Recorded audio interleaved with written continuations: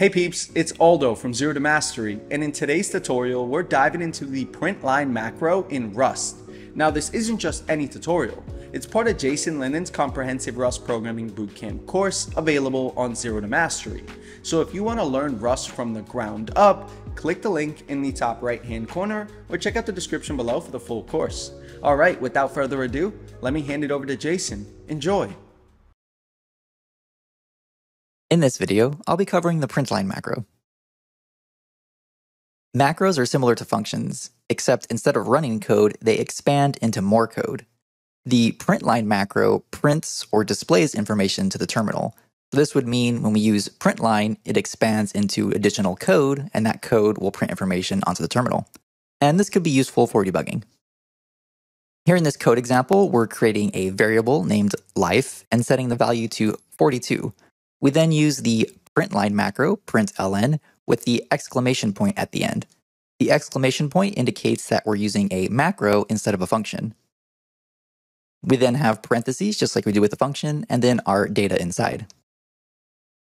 Our data in this case is the string hello, so this means when the printline macro is called, hello will be printed to the terminal. Next, we have a print line with this sequence of tokens. This sequence of tokens indicates that we're able to take some external value and include it within the macro. So what we're doing is we're taking this variable life, placing it right here, and then it's available for usage here in this specific token. All of the tokens start and end with curly braces. So we have the opening curly brace and the closing curly brace. We use a colon followed by a question mark to indicate we want to do a debug print. And a debug print is just whatever text that you want to see as a developer, and it's not meant to be seen by end users of your application. We're able to use the debug print as many times as we like, and so here we're using it twice, and then we use the variable life both times. This means that our third invocation of the print line macro will print out 42, followed by a space, and then 42 it's possible to mix and match any characters that we would like. So here on this last invocation, we're going to print out a short phrase. The meaning is, and then this will be 42 because we're pulling 42 out of the life variable. It's also possible to directly use variables within our string here. So instead of having to have a comma and then additional things, we can just include the variable name, our colon, and then our question mark.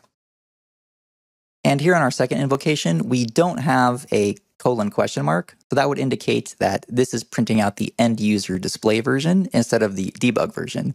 So colon question mark is for debugging, and then you can just take that part off for end user display. Let's do a quick recap. Macros use an exclamation point to call or invoke. When you invoke a macro, additional Rust code will be generated. To print things onto the terminal, we can use the printline macro, and to supply variable data to the macro, we can use the opening and closing curly braces. And within it, we can have a colon question mark, or we can use the variable name followed by colon question mark. And there you have it, folks. A big shout out to Jayson for guiding us through this tutorial. If this lecture sparked your interest, there's a whole lot more to learn in Jayson's complete Rust programming bootcamp course, linked in the top right hand corner and in the description down below. Also, don't forget to like, subscribe, and hit that notification bell so you never miss out on future tutorials from Jayson and other expert Zero to Mastery instructors. Alright, that's it from me. Keep coding, keep exploring, and I'll see you in the next video.